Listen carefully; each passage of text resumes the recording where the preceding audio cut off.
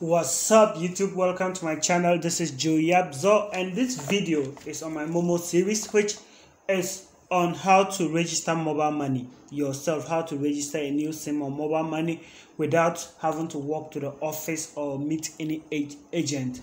So this is very simple and it's very quick and I'm to do it here. So what you do is you go to this website. I'll leave a link in the description. That's MTN customer online request.mtn.com.gh. So when you go there, you enter your number, and when you enter your number, you do you click on proceed. They'll send you an OTP. I've already done this in order to save time, so it'll generate this for you. You can do this on your phone, but I prefer my PC because my screen is very big for me to see. So when you come here at this place, select product, you choose mobile money registration form and you click generate form. So with the generate form you enter in your details. So this place you have the liberty to type in your name and everything right? No one will type any wrong details for you. So your number date of birth.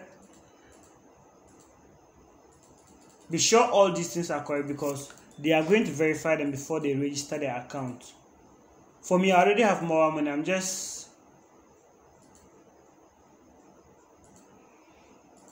so residential address or landmark on the phone. Sometimes this one to view one by one, so you have to. Uh, it's on my PC that you're able to get it at this. All of them appear at once. So residential landmark, an address or an institution that is close by your place for instance, the name of a school, if you are staying by a school, just put the name of a school, a market, a church, something that is common. I have digital address. So you enter your digital address. My digital address starts with UT. I don't have all those details here. So just to give you an idea of it, you enter your gender here. I don't know why they prefer that you type it. so you enter your gender, male, occupation, nationality, if you are not a Ghanaian, you put that you are not a Ghanaian.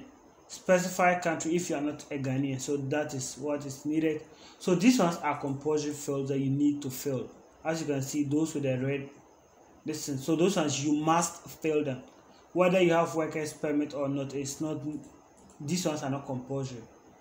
These ones are optional. And ID type, you need to put your ID type there. So have ID type, voters ID, national ID, health insurance. So when you put national ID, you type in your ID number there.